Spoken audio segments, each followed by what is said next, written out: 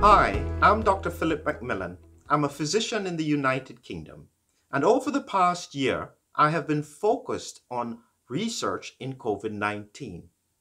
Our research has been specifically focused on autoimmunity in the disease. Helping you to understand COVID will help you to feel more reassured about the future. One of the points that we're dealing with today is why are infants less susceptible to COVID 19 than adults or elderly people? This is an important question and a very important observation. Both groups are usually much more vulnerable to all kinds of infections viral, bacterial, and fungal. The elderly group are usually susceptible because they have a weak immune system. As they age, their immune system gets weaker. Infants, these are children who are less than one year old, they usually have a weak immune system because it hasn't fully developed. They tend to get antibodies from their mother in the womb, and they will also get extra antibodies to support their immune system through breast milk. In theory, this group is just as vulnerable as the elderly. And we have seen this pattern in other epidemics and pandemics across the world.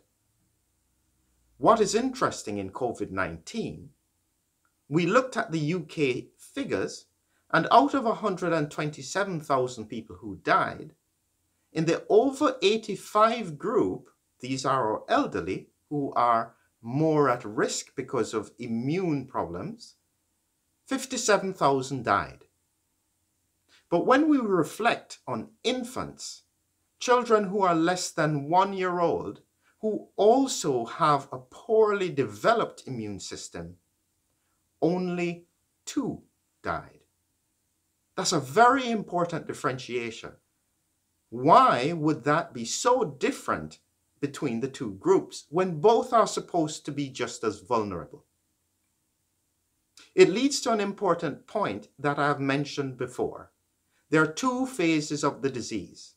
There is the viral phase and the immune phase. In the viral phase, the virus replicates in the lungs and does some damage. But the immune phase is where most of the lung damage occurs and ends up with clots in the lung that prevents you from breathing. What seems to be different is that infants can get the viral phase of the disease, but they do not seem to be as susceptible to the immune phase of the disease. That's a critical difference between infants and the elderly. Why would this be the case in COVID 19 but not in other viral and bacterial infections? Why don't you join us on Patreon for more posts podcasts, and videos that will help you to make sense of medicine.